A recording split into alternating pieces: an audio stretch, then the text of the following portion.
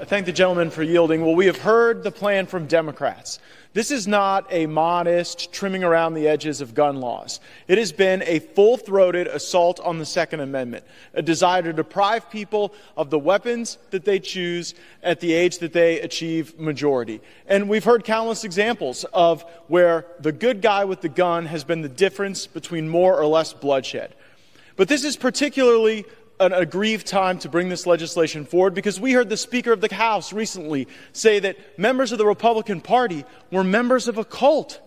So you now have House Democrats demeaning, defaming, calling extremists tens of millions of Americans while they try to disarm you and then subsequently defund the police. And so no good guys are coming when the, woke, when the woke mob ends up at your door. That's their plan for America. And gun control, unrestrained gun control, is a key part of it. And just like they said, they'll pack the court, they'll blow up the filibuster, they'll abuse every more of this place for the opportunity to take down the Second Amendment. That's what's at issue. That's what we're fighting for. And Republicans in the United States Senate should not sign up for this charade. They should stand with our fellow Americans for the Constitution and with American gun owners. I yield back to the gentleman from Ohio.